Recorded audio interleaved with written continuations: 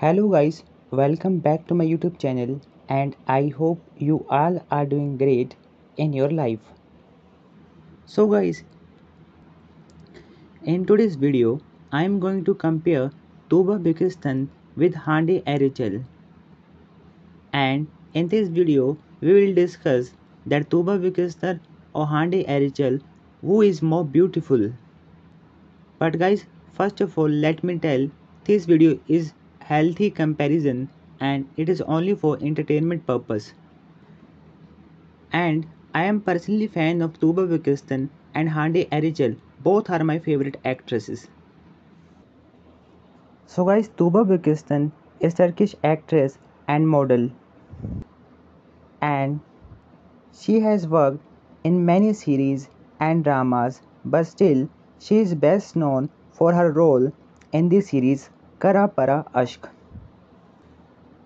And Tuba Büyüküstün is about 40 year old woman, but still she looks like 25 year old pretty girl. And on other side, Hande Erçel is also Turkish actress and model. And also she had worked in many movies and series and dramas, but still she is best known for her acting in the series Aslaftan Al-Namaz. And guys, in my personal opinion, Tuba Büyüküstün is more beautiful and gorgeous than Hande Erçel.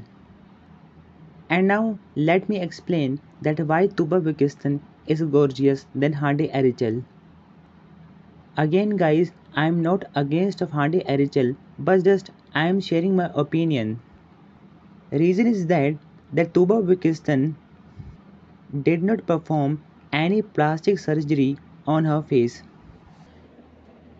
And on other side, Hande Erçel performed several surgeries on her face to look gorgeous and beautiful.